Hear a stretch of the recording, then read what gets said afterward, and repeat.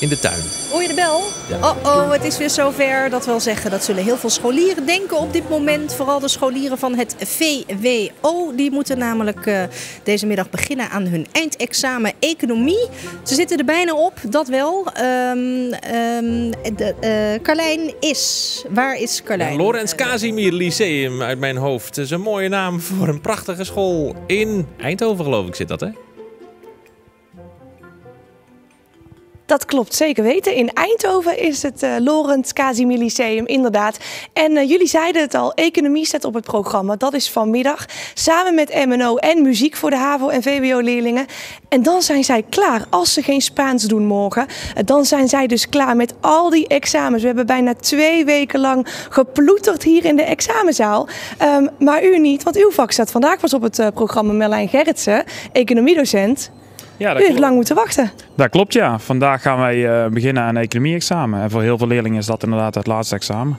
Ja, en hier uh, gaan eventjes de lamellen naar beneden, want uh, achter ons, of nou ja, in ieder geval voor ons gaat een proefwerk beginnen. Dat hoort er ook allemaal bij. Maar hoe is dat om als allerlaatste examen te doen? Want de spanning moet wel hoog blijven natuurlijk. Ja, het is wel gek om inderdaad als allerlaatste te zitten. Voor mij de eerste keer. En uh, ja, het is te hopen dat de leerlingen nog de energie en de focus hebben om nog één keer te knallen.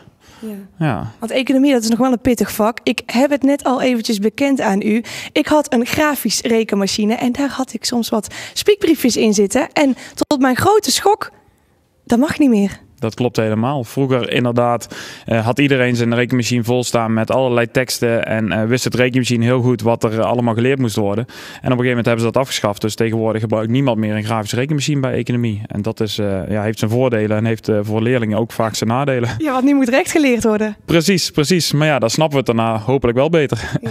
En voor al die eindexamenleerlingen, ruim 30.000 in totaal, zit het er dus bijna op maar dan gaat u aan de slag, want u moet dan gaan nakijken. Hoe gaat dat werkje in precies? Uh, hoe gaat dat in zijn werk? Uh, nou ja, het is een kwestie van, uh, van heel veel uren maken. Um, een gedeelte, of grotendeels moet je het natuurlijk zelf doen, maar dat is gelukkig ook een examenbespreking waar je met collega's gaat praten over de vragen en wat er wel of niet in een antwoord moet staan voor een bepaald aantal punten.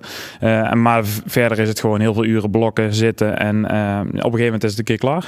Ja. ja. En kan dat dan in de tuin, want het wordt lekker weer hè?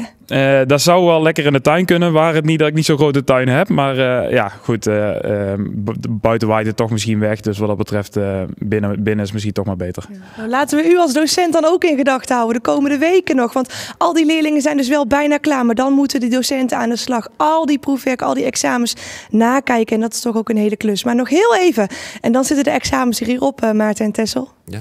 Wat moet dat een opluchting zijn voor al die scholieren. En dan heb je heel lang vakantie als je geen her hebt. Dat weet ik nog wel. Dat je dan echt van...